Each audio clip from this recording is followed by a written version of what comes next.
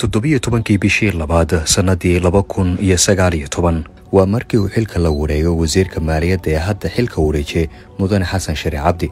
Xilkan uu kala wareegay wasiirka hore ee maaliyadda puntland mudane cabduqaadir siciid caashe dhaqaaje. Wasaaradda maaliyaddu waxay ku shaqaysaa siyaasad maaliyadeed oo ku salaysan dardargelinta dakhliga iyo qoondaynta miisaaniyadda. Wasaaradda maaliyadda xarunteeda dhexe waa caasimadda puntland ee garoowe daqiiqadaha soo aadan waxaan isku dayi doonaa inaan sultaag kooban ku samayno waxyaabihii u qabsoomay wasaaradda maaliyadda dowladda puntland muddadii uu xafiiska joogay wasiir xasan shari cabdi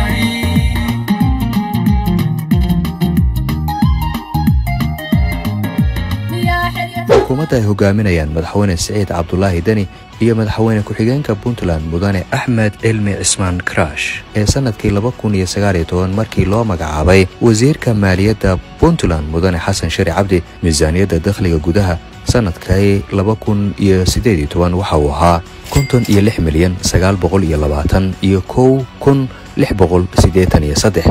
Waana mid aad u hoosaysa si isbeddel loo sameeyo wasiir xasan shari cabdi markii uu xilka la wareegay waxa uu kulamo kala duwan la yeeshay agaasimayaasha wasaaradda xisaabiyaasha gobollada saraakiisha ilaalada canshuuraha dhammaan waxa uu kala hadlay. Sidii kor loogu qaadi lahaa kobcinta dakhliga dubahabaynta hanaanka maaliyadda beekhaaminta kharashaadka iyo dardargelinta shaqooyinka wasaaradda maaliyadda isaga oo ka duulaya siyaasadda xukuumadda. Muddo kooban oo dadaal dheeri ah oo dakhliga lagu bixiyey waxa uu noqday mid kor u kacay sannad gudihii laba kun iyo sagaaliyo tobankii. Dakhliga waxaa la gaarsiiyey lixdan iyo laba milyan sagaal boqol iyo lix boqol lixdan iyo saddex kun.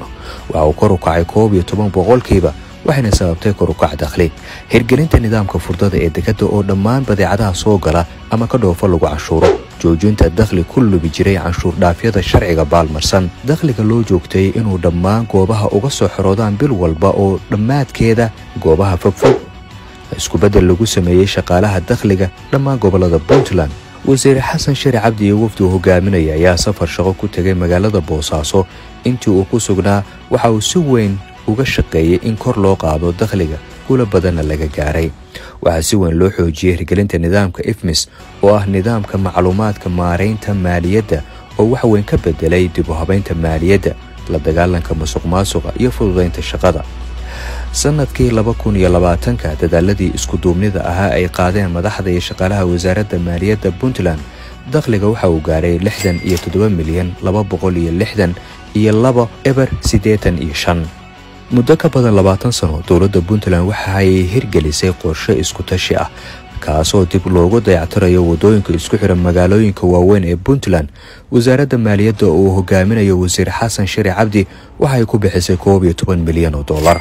Sidoo kale waxaa la hirgeliyey dhismayaal cusub oo ay ka mid yihiin bangiga dowladda puntland ee garoowe iyo gaalkacyo. Dhismaha cusub ee xarunta dakhliga wasaaradda maaliyadda ee garoowe dayactir iyo dhismo lagu sameeyey xarumaha dakhliga ee gobollada puntland sii wadidda taageerada waddada ceeldaahir ceergaabo iyo xoojinta taageerada kabka horumarinta degmooyinka ee qaybta dowladdu bixiso ee mashruuca g b l g. Dowladda puntland oo heshay dakhli waxa ay bilowday dubahabaynta ciidamada. Madaxweynaha dowladda puntland mudane siciid cabdulaahi deni waxa wasiir xasan shari cabdi u magacaabay guddoomiyaha guddiga dubahabaynta ciidamada isaga oo ku guulaystay in dib u habayn lagu sameeyo dhammaan ciidamada iyo bixinta mushaaraadkooda dowladnimadu waa bulshadu canshuurta bixisa si hufnaanana loogu adeego. Sannadkii laba kun iyo koob iyo labaatanka dakhliga waxa uu gaaray toddobaatan iyo siddeed milyan sagaal boqol iyo kow boqol soddon iyo kow waana dadaal ay si wada jira u sameeyeen madaxda iyo shaqaalaha wasaaradda maaliyadda puntland oo isku duuban wasiirka wasaaradda maaliyaddu isaga oo la tashanaya madaxda wasaaradda maaliyadda waxa ay mudnaanta siiyeen bixinta kharashaadka dowladda iyada oo meesha laga saaray dhammaan kharashaadka aan muhiimka ahayn. Mudnaanta koowaadna la siiyey bixinta xuquuqda shaqaalaha iyo midka ciidamada sidoo kalena arrimaha amniga iyo horumarinta arrimaha bulshada. Dhanka kordhinta mushaaraadka ayaa guul laga gaaray waxaana mushaaraadka loo kordhiyey hay'adaha kala duwan ee dowladda sida wasiirada xildhibaanada shaqaalaha dowladda iyo ciidamada oo kor loo qaaday mushaaraadkooda. Habka loo kordhiyey mushaaraadka waxaa ka mid ah shaxda hoose ee darajada mushaaraadka. Xildhibaanku wuxuu mushaarkiisu ahaa markii hore kun iyo afar boqol sagaashan iyo sagaal doolar hadda waxa uu qaataa laba kun iyo shan boqol oo doolar waxaana la kordhiyey toddobaatan iyo saddex boqolkiiba. Wasiirku waxa uu horey u qaadan jiray lacag dhan kun doolar hadda waxa uu mushaar ahaan u qaataa saddex kun oo doolar waxaana la kordhiyey laba boqol boqolkiiba agaasimaha guud waxa uu qaadan jiray shan boqol oo doolar hadda waxa uu qaataa siddeed boqol oo doolar waxaana la kordhiyey lixdan boqolkiiba agaasimo waaxeedku waxa uu mushaar ahaan u qaadan jiray siddeetan iyo laba doolar hadda waxa uu qaataa saddex boqol iyo konton doolar waxaana la kordhiyey saddex boqol labaatan iyo toddoba boqolkiiba madax qaybeedku wuxuu horey u qaadan jiray lixdan iyo saddex doolar hadda waxa uu qaataa laba boqol iyo konton doolar waxaana la kordhiyey laba boqol sagaashan iyo toddoba boqolkiiba. Madax farac wuxuu horey u qaadan jiray konton iyo lix doolar hadda wuxuu qaataa boqol iyo soddon doolar waxaana la kordhiyey boqol soddon iyo laba boqolkiiba. Madax xubin wuxuu horey mushaar ahaan u qaadan jiray afartan iyo afar doolar hadda wuxuu qaataa boqol iyo toban doolar waxaana la kordhiyey boqol iyo konton boqolkiiba.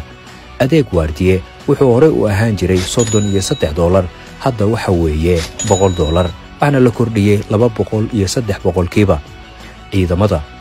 Mushaarka askariga wuxuu horey u ahaan jiray siddeetan doolar hadda waxaa la gaarsiiyey laba boqol oo doolar waxaana la kordhiyey boqol iyo konton boqolkiiba raashinka askarigu wuxuu horey u ahaan jiray soddon doolar hadda waxaa la gaarsiiyey soddon iyo siddeed doolar waxaana la kordhiyey labaatan iyo toddoba boqolkiiba.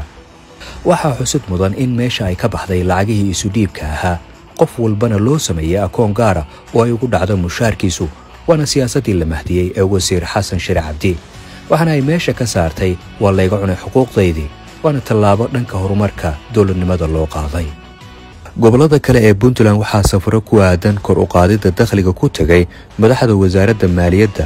Dhammaan safaradaasi waxa ay noqdeen kuwo guulo ku soo dhammaaday wasaaradda maaliyaddu waxay hirgelisay nidaamka khasnadda midaysan. Wasaarado badanna ay hirgeliyeen nidaamka khasnadda midaysan ee t s a nidaamkaas cusub. Waxa ay wax badan ka beddeli doona hab maamulka maaliyadda dowladda puntland iyada oo ay soo marayaan dhammaan mashaariicda ka howlgelaya deegaanada puntland wasaaradda maaliyaddu waxa ay tababar u furtay shaqaalaha dakhliga iyo kuwa xisaabaadka kuwaasoo helay waxbarasho caalami ah iyo mid gudaha ahba. Waxaana hadda dhammaystay tiro shaqaale ah oo kor u dhaafaya laba boqol iyo konton shaqaale oo ku guulaystay darajada diblooma ee barashada canshuuraadka iyo xisaabaadka si ay qayb uga noqdaan dadaalada horumarinta shaqada wasaaradda maaliyadda ee puntland waxaa xusid mudan in wasaaradda maaliyadda dowladda puntland ay xarumo waaweyn ku leedahay dhammaan gobollada iyada oo ka howlgasha sagaalka gobol ee dowladda puntland ayna ku leedahay ku dhowaad boqol iyo labaatan xafiis kuwaasoo isugu jira kuwa lagu qaado canshuurta xafiisyo xisaabaad iyo kuwa maamul. Waxaa kaloo xusud mudan in wasiir xasan shari cabdi isaga oo kaashanaya madaxda iyo shaqaalaha wasaaradda maaliyadda puntland muddadii uu xilka hayay ay dadaal ku bixiyeen helidda xuquuqda shaqaalaha ciidamada iyo kor u dhaqaalaha dalka. Ugu dambeyn wasiirka hore ee maaliyadda puntland mudane xasan shari cabdi ayaa xilka ku wareejiyey wasiirka maaliyadda puntland ee uu dhowaan madaxweynaha puntland soo magacaabay mudane maxamed cabdiraxmaan dhabnacad barnaamijkan waxaa soo diyaariyey iskuna soo dubariday xafiiska wacyigelinta iyo warfaafinta ee wasaaradda maaliyadda dowladda puntland